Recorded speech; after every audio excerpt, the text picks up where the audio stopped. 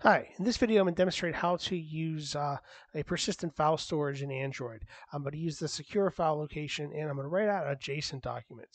Uh, my program is going to take the existing Hello World app that's given to you by .NET MAUI when you run it and just going to write out some diff information, information. What I've added to it are these two labels or four labels. I have clicks this run, clicks last run, and when I run this thing and I start doing these clicks, I'm going to make this persistent so that the number of clicks I hold on to is from this particular run and the last runs. So I'm going to keep an overall running total, kind of like Cookie Clicker if you ever played that game on the internet. So right now, it just does that. I stop and I run. I want the number of clicks I had last time to appear down here, and I want this to keep counting persistent, not just restarting each time. Okay, so I'm going to create a model over here, my persistent storage.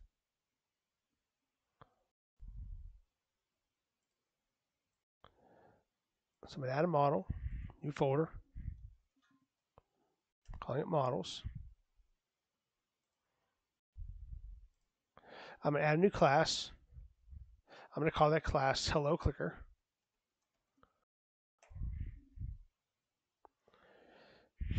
Should always use a class to store your data especially if you have more than two pieces to it. Just much simpler than trying to track multiple variables. I'm going to make that class public. I'm going to use my prop. Prop allows me to very quickly create those. I typed in prop and it tab tab. To do two more.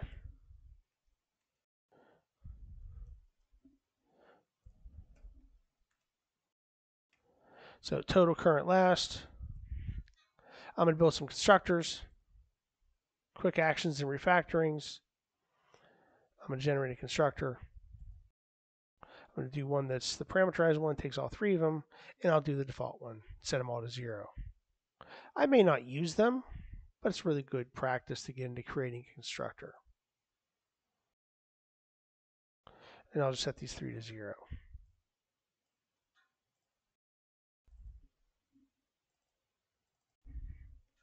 I know that it's overkill, but it's good overkill to get into. Okay, so now we're going to modify the code behind to use this. I could have done this full MVVM. I'm trying to keep it simpler. So I'm going to go to the code behind the main page. I'm going to keep a lot of this and just change it as it goes forward. But I'm going to add in my class. I'm going to add in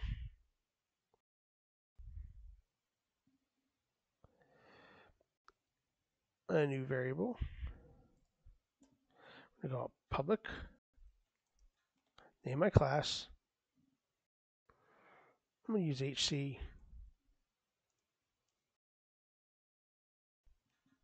This guarantees to call my constructor. I can also put get and set there, but I'm not going to use a get and set. I'm just going to simply use this variable. In my on counter clicker that I have, I'm going to comment some existing code and modify it. So I'm not going to use your count plus plus anymore. I'm going to use HC.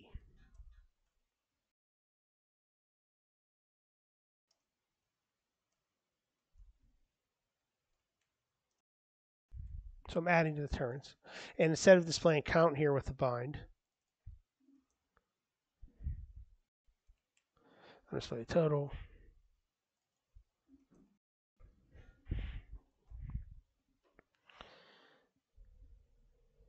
And then I'm going to use that current object.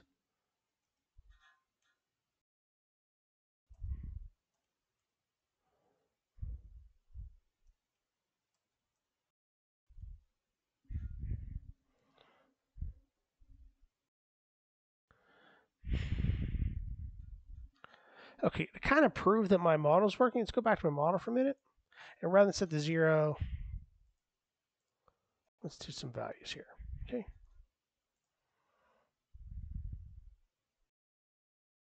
Oops. That happens whenever you're adding stuff quickly. Whenever you add a model to your project or any type of folder in the project, it can take a lot longer to build. So, Note 11, the numbers are adding up. I need some spacing down here but it's working.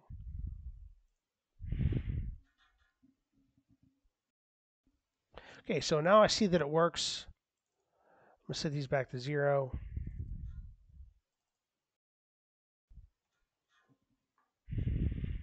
I'm now going to write to the file.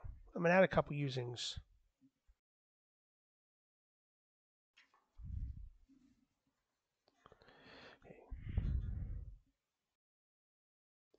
So main page XAML, add some usings up here. System.io, IO of course is input output.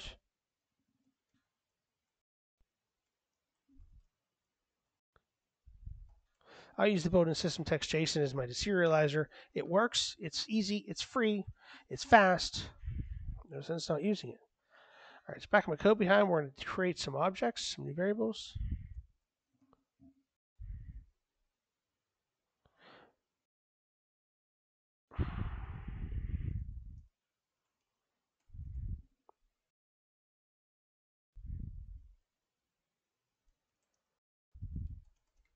So private string file name. I'm going to use that to write out to my disk.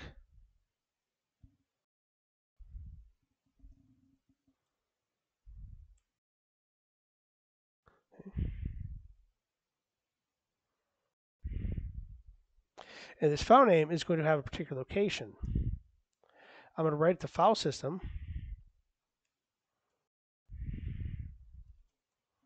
And we're going to use app data directory. All operating systems have, at least for mobile, have some type of storage for the app. Uh, this is secure storage. So I'm going to add it to it, the name of this file.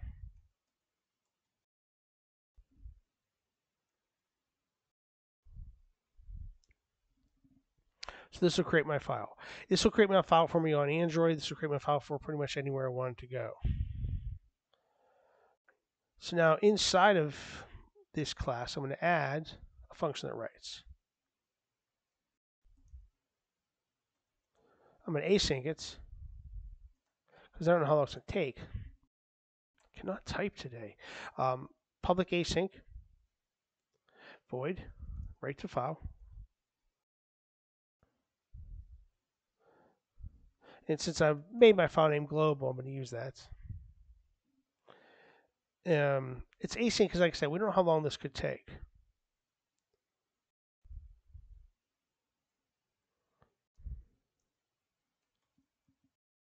We're going to serialize the JSON and we're going to serialize HC over here. If you've never used a serializer before, what it does, is it goes through and converts my class into a JSON document. My guess is if you're here at this point, you've seen JSON.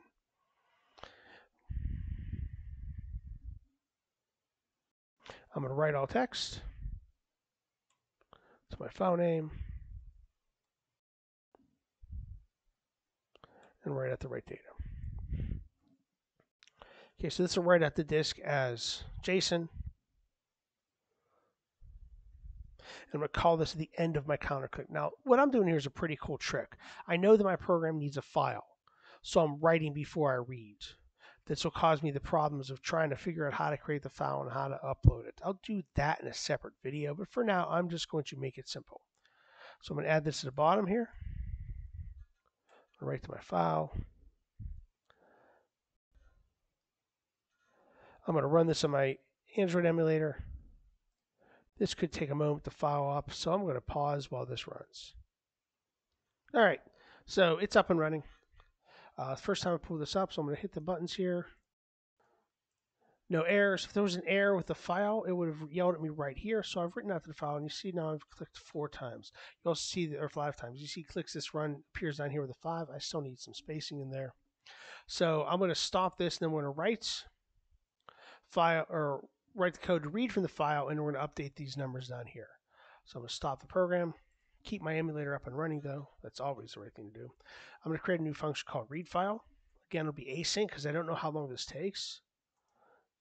Essentially, whenever you're going to do something that's external to your app that you don't control, like reading from the internet or reading from a file, you want to async it. So what I'm going to do is I'm going to create a variable to read in from the file. I'm going to use hello clicker again.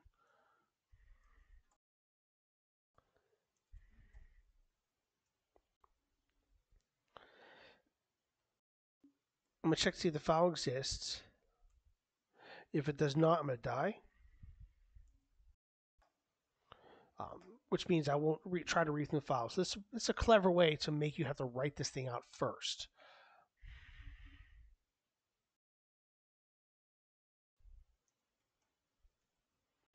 If the file does exist, I'll move on from here and I'm going to read it. Now, the file is written out in JSON. I could dig through the Android app and find it, but there's no need to because I'm going to just convert it from JSON into text. So I wrote up by going to read all the text, excuse me.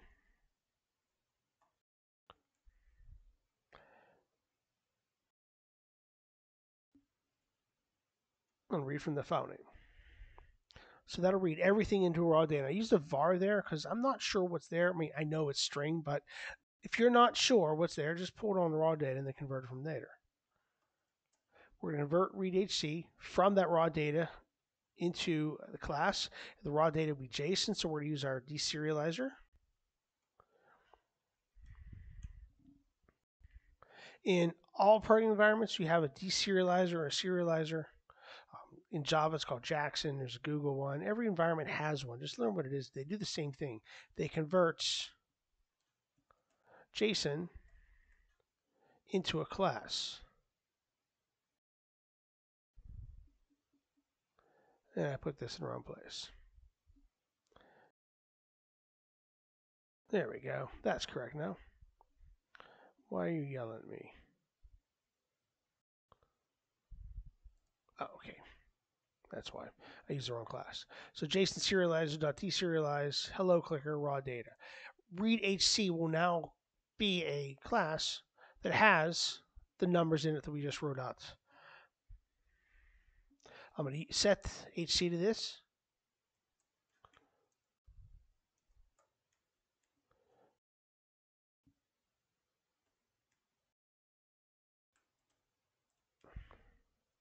The last thing I the file with the current was the last time I clicked it. So current was the last time I ran it. So I read current into HC last. I haven't clicked anything yet, so I said equal to zero.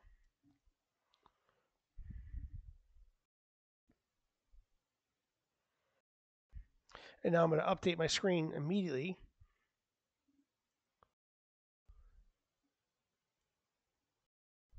And I'm going to take this line of code I have here. I'm going to assume I clicked it more than one time. Not deal with that if statement we had done there. Current click label.text is going to be equal to 0 or hc.current. And then last click label.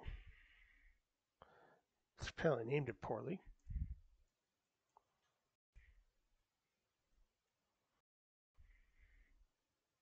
It wants me to string this apparently.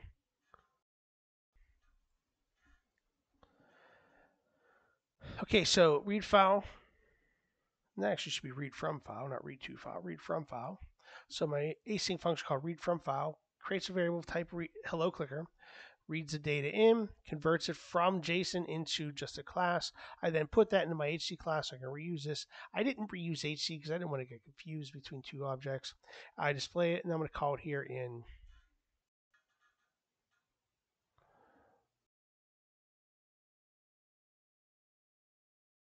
calling my constructor. Okay, I'm going to run this in emulator. Again, I'm going to pause it. All right, it's back up. We can see the last time I ran it, I did click it five times. You should remember that. I'm going to click it a couple more times here. So now run it 15 times, 10 times this time, 5 last run. I'm going to reset that.